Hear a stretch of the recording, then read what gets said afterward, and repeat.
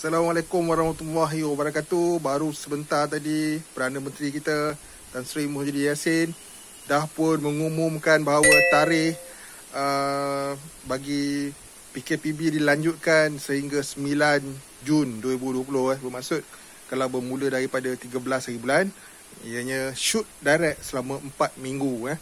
Ha, jadi 4 minggu tu 4 minggu sebulan lah.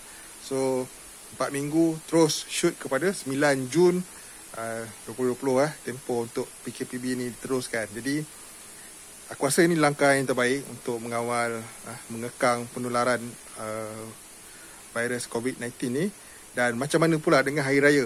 Okey, seperti yang diumumkan tadi, PKPB ni walaupun dilanjutkan dia masih mengikut SOP yang sebelum ni ya. SOP yang sekarang ni masih dilaksanakan. Tak ada perubahan lagi ya saat video ini dirakam. Jadi bermaksud perjalanan merentas negeri memang tidak dibenarkan sama sekali. Pulang berhari raya tidak dibenarkan. Jadi orang bertanya bagaimana pula dengan perjalanan dalam negeri? Perjalanan dalam ah, dalam negeri pula. Yalah, dalam negeri merentas daerah yang sama masih dibenarkan.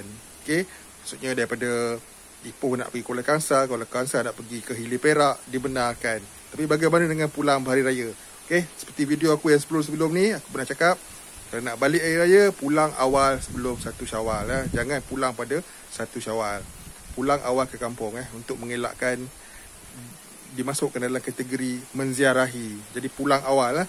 So, masih lagi mengikut SOP yang sama. Eh, SOP yang sebelum-sebelum ni lah, eh, dalam PKPB. Jadi aku harap uh, ada ada pengumuman lah daripada semasa ke masa. Eh, sebab tarikh itu akan berubah.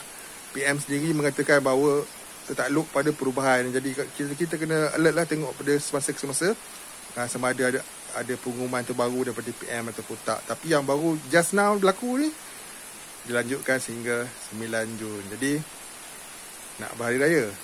Raya letaknya di hati babe, di hati. Jadi pandai-pandailah kita nak balik ya. Ha, kalau dalam daerah yang sama insya-Allah kau boleh balik. Kalau kau stay di KL nak balik ke Penang ke mana ke? Memang tak boleh. Sekian dulu aku berita pantas, syargas, laju je. Okay. Bye-bye. Hari nak hujan, babe. Bye.